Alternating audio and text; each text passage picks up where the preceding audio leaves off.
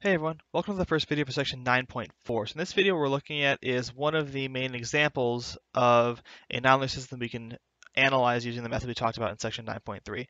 So this section is about competing species and you have two species that would both grow normally but they compete and they share resources so they adversely affect each other's populations. So we're going to analyze it via the methods that we talked about in last section as well as some new things that we're going to talk about in this section. So let's go ahead and jump right on into it. So this section is about competing species. And the idea is that we have two species. They each grow following the logistic model, or at least they would if they were growing on their own, but they are negatively influenced by the other by the presence of the other species.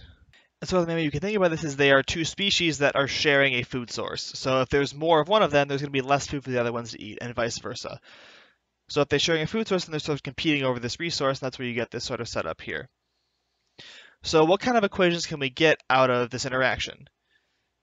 So we get something like this. dx dt, so x is the first species, equals x times epsilon 1 minus sigma 1x minus alpha 1y. Now that we're thinking here is that epsilon is something like our normal growth rate. Sigma is going to factor in the carrying capacity, right? Because what's the logistic, logistic model is dx dt equals rx times 1 minus x over k. So in some sense, this sigma is incorporating the carrying capacity into the equation. And then alpha is going to determine how much they interact. So some sort of interaction parameter. And similarly, we get dy dt equals y times epsilon 2 minus sigma 2y minus alpha 2x, where again, epsilon is the growth rate, sigma is the carrying capacity part, and alpha is the interaction between the two species. So as you can probably guess, the values of the different constants, epsilon, sigma, and alpha 1 and 2, are going to affect how the solution behaves. And so we want to look for critical points and stuff based on this, and it's going to depend on these constants, whether or not they exist and where they are and that kind of thing. But we can sort of use another tool to help us get there a little bit faster and sort of see what's going on in the equations beyond just critical points. And that's the idea of these nullclines. So what we mean by a nullcline is a line on which one derivative vanishes. So right, if I have a critical point, I need both derivatives to vanish. I need both dxt and dydt to vanish to get a critical point. But the nullcline can give us a line on which one derivative vanishes. And then the idea is that on top of everything else, intersection of nullclines gives critical points. Because the two of them intersect, then they are both zero at that point. So let's look what we get for this equation. So for our x nullclines, this is where our x derivative is zero. We get x equals zero, which is not too interesting. And the other one, which is sigma 1x plus alpha 1y equals epsilon 1. And then for our y nullclines, we get y equals 0, and sigma 2y plus alpha 2x equals epsilon 2. So these guys are both lines, which means we can sort of draw them on a graph and see what happens. So let's look at a possible option for what a graph we can get out of this. So I'm going to have my axes here. Again, since we're doing populations, I only care about the first quadrant. All right, so on this axis, let's draw our nullclines. So I'm going to draw the x nullclines in red and the y nullclines in green. So these will be in red. These ones will be in green. So for red, I have x equals 0. Well, that is this vertical line here. And I'll have a slanted line here that goes from well, if x equals 0, then y equals epsilon 1 over alpha 1. And if y equals 0, I get x equals epsilon 1 over sigma 1. So it's going to be some sort of slanted line down this way, depending on the parameters epsilon and alpha and sigma. I'm not going to label the vertices, but that's kind of what the idea looks like.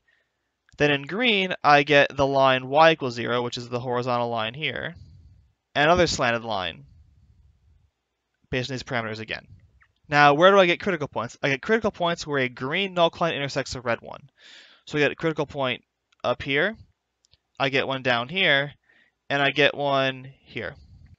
Now, what the nullclines tell me is they tell me where certain derivatives switch sign. So I know if I'm up top here, both dxt and dyt are negative. Why? If I look at the equations, scroll back up for a second, then if x and y are really big, then both derivatives are negative because this term here is going to make the whole thing negative for x and y really large. So I know we're there. Now if I pass over a y nullcline, my y derivative changes sign. So when I pass over, instead of going down and left, I'm going to be going up and left. And I switch the X, now I'm going up and right. So if I look at this kind of picture, what I should be seeing and what I think I'm going to see is that this guy is going to be stable, and these guys, other guys are going to be unstable. Because near them I'm going away and I'm going to other ones. Now the idea is that if we do our analysis from the last section, we'll be able to see that we do in fact get this sort of condition where the one in the top left is going to be stable, the other one's rationally stable, the other one's going to be unstable. Now there are four different options for these these lines based on what the parameters are. Right, I get this picture here, or I get these three that I'm going to put down here right below it. So there's the three different types of intersections I can get, and it will turn out that all of them give you different types of behavior for your functions. One of them is going to be actually have a stable point at the middle, the other ones are not. So the idea is that if I can draw these nullclines, I can get an idea of what's going on before I actually try to analyze my system, and then I can verify my analysis with the system after the fact. So the intersection nullclines gives us critical points, and they can analyze via the methods from before to sort of see what we actually get for the stability and stuff of those critical points. So the next video is going to be an analysis of a certain example using this using both methods, this and the actual breakdown analysis. There are already two examples in the book, so definitely go look at those as well because those will give you more sort of guidance and more examples to go through to figure out how this all works. Thanks for watching, and I'll see you in the next one for the example.